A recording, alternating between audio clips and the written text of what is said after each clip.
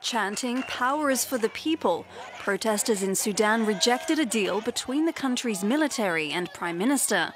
The pact reinstated Abdalla Hamdok as civilian PM almost one month after he was ousted by the military. Hamdok had been a hero of the protest movement, but on Sunday lost much of that support. كل ضد حمدوك لانه دي هو خان الشارع، الشارع شايف انه هو خان الشارع خان خان المواثيق اللي بيننا وبينه انه يا أخي حكومه مدنيه يتم تسليم السلطه للمدنيين ما بنقبل باي تسويه أو حكومه يعين برهان برهان يطلع برا المشهد السياسي After being under house arrest since the October 25 coup, Hamdok signed the deal with military leader General Abdel Fattah al Burhan at the presidential palace. The 14 point deal promises the release of civilian leaders who were detained when the army seized power.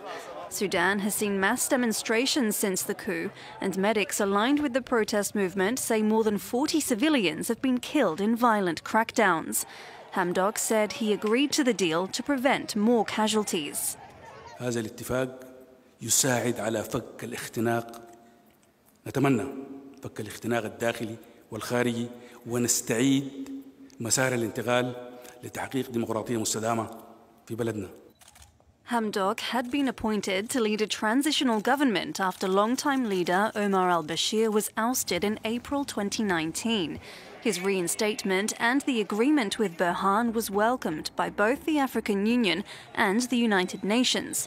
Pro democracy groups, however, are maintaining calls for full civilian rule without military involvement.